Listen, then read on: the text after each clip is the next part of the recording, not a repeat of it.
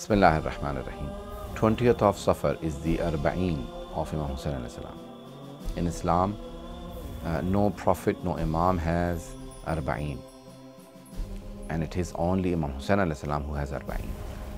Um, you cannot eat the dust from the grave of any of the Imams. But the, the, the dust from the grave of Imam Hussain is known to be khak shifa or the, the turba or the, the dust which has a cure in it.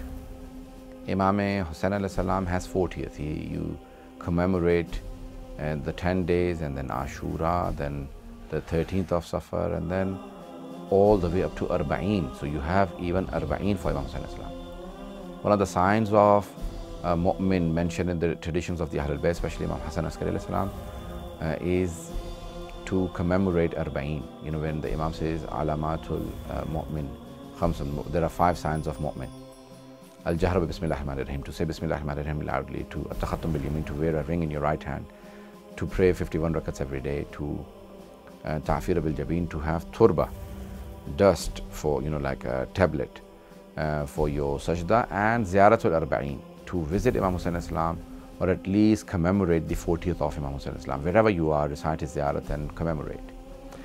Now, in the whole world, in the past 10 years, um, it has become the greatest event in the world, non-political gathering in the world.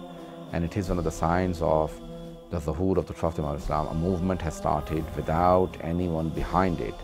Everyone is now making their way to uh, Arba'in in Karbala and everyone wants to commemorate. And it will be a movement where people will find out about Karbala and Ashura through Arba'in. In the uh, books and records, people are now mentioning that the, it is the largest non-political gathering in the world. So it will slowly bring the entire world to its attention and people, the media is now covering it, the social media, but the mainstream media is still not covering it. And slowly when they start to cover uh, this event, they will uh, also gather the attention to the event of Karbala, which is Ashura and Imam Hussain Islam's martyrdom. And this will also um, ignite the fact that Imam Hussain was a grandson of the Holy Prophet So it will introduce the entire world to Islam, Muslims and the Holy Quran. One of the other things that I will do is that Imam Mahdi when he reappears, he will introduce himself as Ala ya Ahl al-Alam, inna Jaddi al-Hussein qataluhu atshanan. O people of the world, it was my grandfather Hussein who was killed thirsty um, under oppression in the plains of Karbala.